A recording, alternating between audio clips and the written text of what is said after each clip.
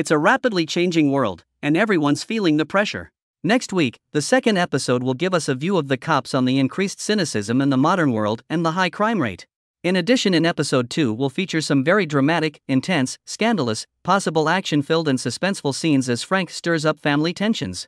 It turns out that Frank will not be the favorite person of the Reagan family in this episode, because he will make it known that Erin does not have his endorsement in regards to her running for the district attorney job. Episode 2 is called First Blush, and the official synopsis reads Frank causes family tension when he announces he will not endorse Erin's run for district attorney. Also, Danny and Baez investigate a bloody crime scene at a hotel, and Jamie begins a new job as a field intelligence sergeant that requires him to keep secrets from his family. I hope that this will be the sort of episode that makes people want to demand getting to see more of the story in the future. We'll just have to see what that looks like come next week when this story airs. What do you want to see in the next episode? Remember that the premiere of the second episode will take place on Friday, October 14th.